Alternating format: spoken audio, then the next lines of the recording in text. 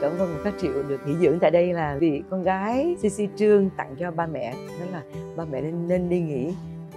CC Trương là một cô bé rất là tâm lý là chuẩn bị cho ba mẹ một câu thơ viết thư dặn dò rồi tâm Cái tình đàn. vẫn để một cây đàn guitar để cho ba mẹ hát. Thì đó là một cái điều mà rất là vui nhớ là hồi trẻ một cái không gian rất là đẹp và thiên nhiên bác thích không nếu mình ra sợ sóng biển ngoài kia thì ở trong này có một cái hồ bơi nước mặn an toàn.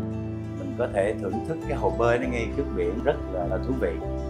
Ban ngày mình có thể đi shopping cà phê. Giống như mình đi nước ngoài thì mình có thể đi ra đây rồi mình cảm nhận những điều đó tại đây. Nova World Hồ Tràm. Có cái nhà hàng The Shack. Ừ, đúng rồi. rất là ngon món nào cũng ngon.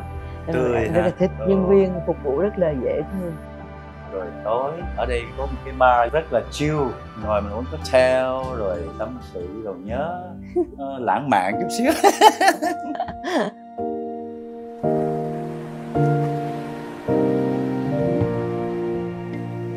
Ở đây không gian rất là yên tĩnh Relax. relax được phải không? Mình có thể mình sáng tạo thêm cái gì đó về âm nhạc thì lên đây mình có thời gian đủ yên để mà mình làm. Thời gian qua rất mau và bây giờ thì không còn cái tuổi thanh xuân của thời trẻ nữa nhưng mà bây giờ vẫn còn lửa lửa của của một cái tình yêu một cái gia đình. À, mình cảm thấy rất là vừa lòng rất là hạnh phúc với cuộc sống hiện tại.